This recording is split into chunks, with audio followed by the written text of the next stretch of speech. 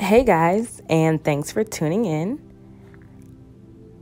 As you can see, I am performing a back facial on this client, and the first step is cleansing. Now, I'm sure you're wondering what is a back facial? And if you don't know, it's the same as a facial, just on the back. The next step in my process today, um, I'll be using the microdermabrasion machine. Most people are familiar with microdermabrasion on their face, but it can also be applied to the body as well. In the clinic at school, we use the diamond tip microdermabrasion machine, and it works really well with exfoliation and deep cleaning of the skin. And I really wish I could have gotten a better view of me actually applying the products and show you um, the process of the microdermabrasion machine. But in school, we're not even supposed to have our cell phones in the clinic, so this is like a little sneaky link. Um, my client was okay with me filming her, so we're good there. But luckily, I didn't get caught with my camera out in the clinic.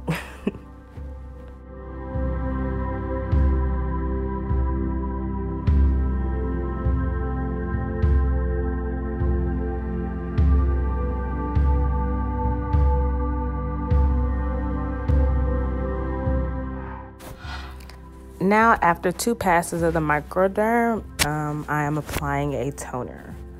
We tone to get up any remaining dirt and debris left behind on the skin and also to restore the pH balance. Give it that good hydration that it needs.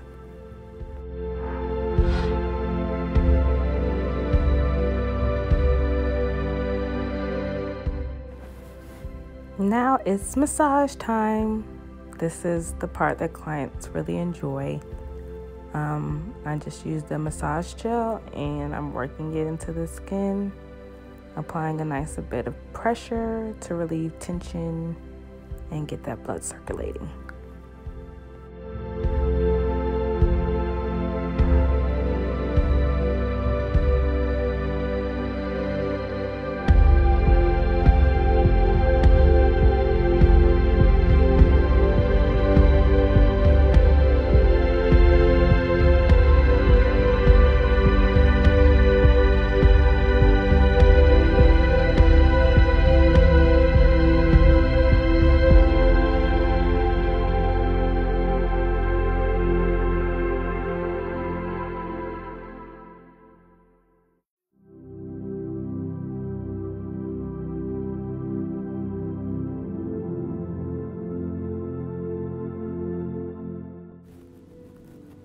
Now, after a great 8 to 10 minute massage, I take a hot towel to remove the product from the skin.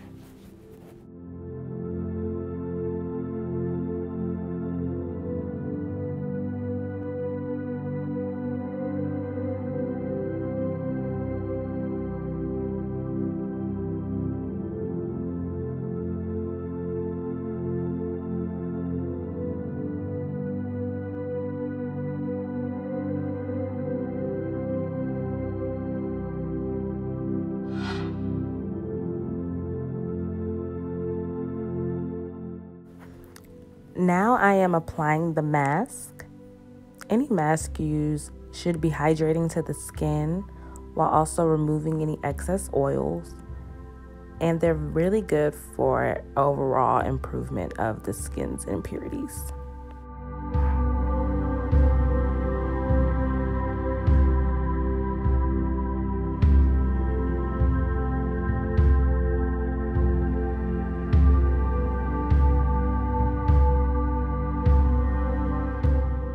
Now to activate this mask, I've applied saran wrap and two hot towels.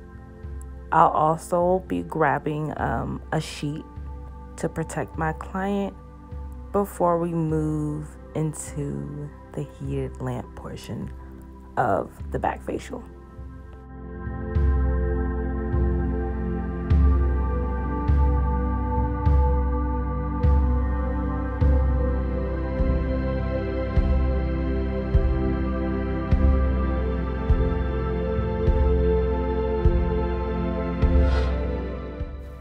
Now I'll be leaving her under this heated lamp for about 10 minutes.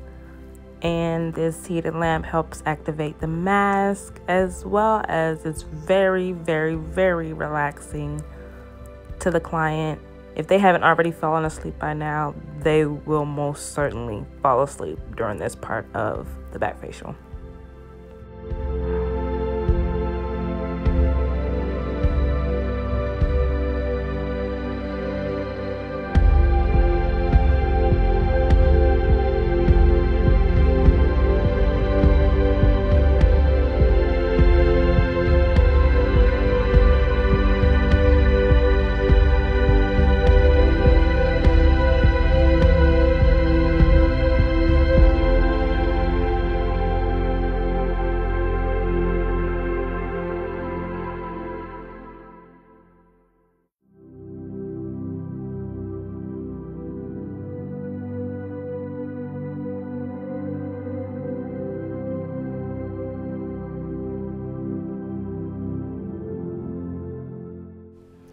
Now, after I have completely removed the mask, I go into toning the skin again. Yes, again. Um, if anybody follows my girl, LA Beautyologist, on Twitter, she's an esthetician in LA and she emphasizes toning the skin multiple times during the facial process.